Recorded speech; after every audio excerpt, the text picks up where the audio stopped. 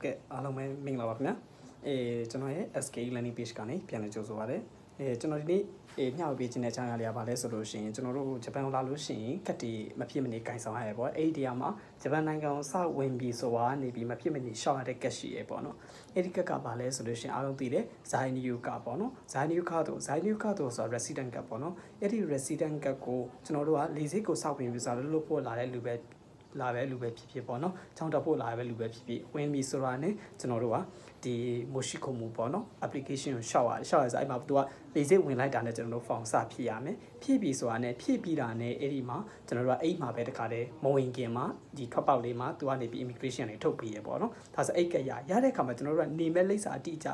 မတည်သေးဘူးဆိုလို့ရှင်လိပ်စာမရတိတဲ့လွယ်လိပ်စာရင်နောက်ကျောဘက်မှာသွားလိပ်စာထည့်ပြီးရပေါ့နော်ဒီလိုမျိုးနောက်ကျောဘက်မှာလိပ်စာလေးတော့ထည့်ပြီးမယ်ပေါ့နော်အဲကြောင့်မလို့ဒီဇိုင်းနီကတ်ကအဓိကဘာလဲဆိုဘာတွေရေးကြည့်လဲဆိုရင်ဒီဇိုင်းနီကတ်ရှိတဲ့ဟာမရှိတဲ့ဟာပေါ့ကျွန်တော်ပြောပြချင်တာဘာလဲဆိုရင်ဇိုင်းနီကတ်ဒီဂျပန်မှာရောက်ပြီဆိုလို့ရှိရင်မဖြစ်မနေယူဆောင်သွားမယ့်အရာဖြစ်တယ်ကိုယ်ပဲပဲသွားသွားမဖြစ်မနေယူသွားပါမယ်ဘာကြောင့်လဲဆိုရင်ကျွန်တော်အတိတငယ်ချင်းထဲမှာတယောက်ဇိုင်းနီကတ်မှာပါတဲ့အတွက်ကြောင့်အဖမ်းခံရရပေါ့နော်လမ်းသွားတဲ့အချိန်မှာကောက်ပြီးဆက်လိုက်တဲ့အချိန်မှာသူကဇိုင်းနီကတ်ကိုမပြနိုင်ဘူးမပြနိုင်တဲ့ကြောင့်သူရေးရခေါ်မိပြီးတော့အဖန်ခံရပေါ့နော်။နောက်ကျမှဇိုင်းဒီကတ်ကိုယူပြရ။တခါအဲ့ကြောင့်ဇိုင်းဒီကတ်အဲ့လောက်ထိထိအရေးပါရပေါ့နော်။ဒါကြောင့်ကိုယ့်ရဲ့ resident ကိုရပြီဆိုလို့ရှိရင်လုံးဝ မပြောက်စီနေပုံပြီးကိုနဲ့မကွာစောင့်ထားပြရမယ်အချက်တစ်ချက်ဖြစ်တယ်ပေါ့နော်ဂျပန်မှာအရင်အရေးကြီးပါလေနိုင်ငံသားတွေအနေနဲ့ဘယ်ပဲသွားသွားကိုနဲ့မဖြစ်မနေယူဆောင်သွားမယ့်အရာတွေကတစ်ခုဖြစ်တယ်ပေါ့နော်အဲဇိုင်းဒီကတ်ဒီနေ့ကျွန်တော်ပြောချင်တာအဲ့ဒီဟာတက်အဲ့ဒီဇိုင်းနျူကတ်ကိုရပြီဆိုတော့ကိုကဘာဗီဇာနဲ့လာလဲလို့မေးတဲ့အခါမှာအများသောအားဖြင့်ရှင်းရှင်းလင်းလင်းမပြောပြနိုင်ကြဘူးပေါ့နော်။ဘာလို့လဲဆိုရင်လုပ်ငန်းတွေကနေပြီးဥမာကိုကတန်းရှော့ကုလုပ်တာပဲဖြစ်ဖြစ်ကုမ္ပဏီဝင်လိုက်တဲ့အခါမှာကိုယ့်ရဲ့စီနီယာပဲဖြစ်ဖြစ်တစုံတစ်ယောက်ကမေးလိုက်တဲ့အချိန်မှာ ဘာဗီဇာနဲ့လာလဲလို့ပြောရုပ်တရက်ဆိုမဖြေနိုင်ကြဘူးပေါ့နော်အဓိကကိုယ့်ရဲ့ဇိုင်းနျူကတ်မှာအဲ့ဒီဟာရေးပေးထားရပေါ့နော်သွားတော့ဂျပန်လိုဘယ်လိုရေးထားလဲဆိုလို့ရှိရင်နံပါတ်1မှာဂီစုပါတယ်ပြီးရင်ဗာလဲဆိုဂျင်ဘွန်ရှီချီကီဂီစု ရဲ့ဂျင်ဘွန်ရှိရှိကီရဲ့နောက်ကခိုကုဆိုင်ဂီယောမှုဆိုပြီးသုံးမျိုးရေးထားရပေါ့နော်အင်းဒီလို့ဆိုရင်တော့ကျွန်တော်တို့ COE ရကနာမှာရေးထားရပေါ့နော်ဟိုမှာပေါ့ဗာလဲဆိုလို့ရှိရင် engineer specialist in humidity ပေါ့နော်ပြီးရင်ဒီစတဲ့ service တွေမှာဆိုပြီးဒီ international service တွေမှာလုပ်လို့ရတယ်ဆိုပြီးတော့ပြောထားရပေါ့နော် international service တွေမှာဒါကြောင့်အဓိကပြောချင်တာကျွန်တော်တို့ကလာလာ engineer ဖြစ်ခဲ့ရင်ရှေ့ဆုံးဟာဖြစ်တဲ့ gizu နဲ့လာတာပါကျွန်တော်တို့ဒီကိုကင်ထားအဲ့ဒီသုံးခုလုံးအကျုံးဝင်တယ်လို့ပြောမှာမဟုတ်ပါဘူးသူက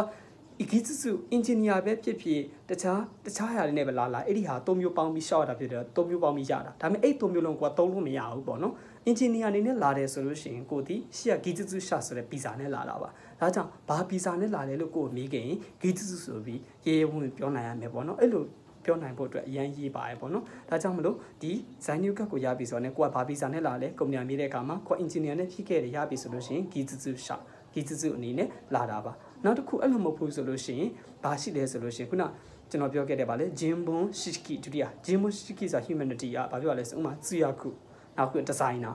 ကိုကဒီဇိုင်နာအနေနဲ့လာတာဖြစ်ဖြစ်ဖြစ်ဘာသာပြန်အနေနဲ့လာတာဖြစ်ဖြစ်အဲ့လိုအချိန်ကြာရင်เนาะဒုတိယဟာရဲ့အမျိုးအစားမှာဝင်တယ်ဒါပေမဲ့ကြိုင်ဆောင်ထားတဲ့ဟာတွေကအဲ့တုံးကပေါင်းရေးထားရပေါ့เนาะဒါကြောင့်အဲ့ဒီဟာလေးဒီအရင်အရေးကြီးရဲ့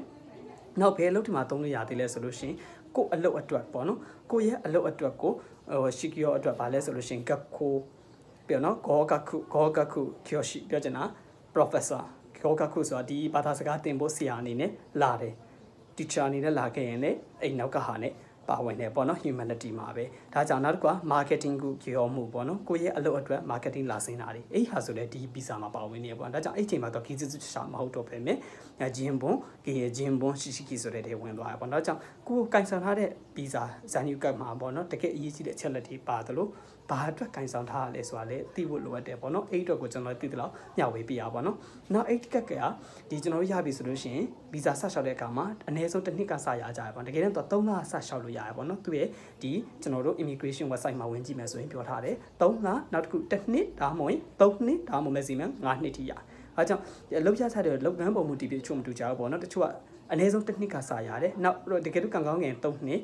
ပိုပြီးကံကောင်းတဲ့လူဆို9နှစ်စပြီးတဲ့လူကျွန်တော်တကယ်ချင်းမှာဆက်ဆက်စပြီးဂျပန်လာကနေမှာ9နှစ်ပြီးစာရရပေါ့နော်9နှစ်နေထိုင်ခွင့်ရရပေါ့နော်ပြီးတော့မှဒီရောက်တာနဲ့ cohesion ဆိုတာဘာလဲဆိုလို့ရှိရင် extension ထပ်လောက်ရတယ်ပေါ့နော်ပြီးစတန်ရုံဒီ immigration မှာလောက်ရမယ်ပေါ့နော်အဲကြောင့်မလို့ဒီနေ့ကျွန်တော်ပြောချင်တာကအဓိကကိုရတဲ့ဟာဒီဘယ်နေရာမှာတုံးလဲဆိုလို့ရှိရင်ကိုယ့်ရဲ့ဗီဇာဘယ်နေရာမှာအကျုံးဝင်လဲဆိုတာပြောပြနိုင်ဖို့အတွက်ကျွန်တော်မျှဝေပေးခြင်းဖြစ်တယ်ပေါ့နော်အဲကြောင့်ကိုဒီ engineer လာဆိုလို့ရှိရင် gijitsu ဆိုတဲ့ဟာနဲ့လာတာပေါ့နော်အဲ့ဒီဟာလေးကိုရေရေဝင်ပြောနိုင်ဖို့အတွက်ကျွန်တော်မျှဝေပေးခြင်းဖြစ်တယ်ပေါ့နော် အဲ့ဒီဗီဇာဘယ်နေရာမှာသုံးဝင်လဲဆိုလို့ရှိရင်ပြောချင်တာရှောက်တဲ့အခါမှာဒီဗီဇာပဲလူလူလူရလဲဆိုလို့ရှိရင် Rikaku ပြောချင်တာသူကဒီစာချုပ်ချုပ်ထားပြီးတော့ဒီကိုယ့်ရဲ့ Rikaku နဲ့လာတာပဲဖြစ်ဖြစ်နောက် Kokaku ပြောချင်တာ faces ဒါမှမဟုတ်လို့ရှိရင်အဲကျွန်တော်တို့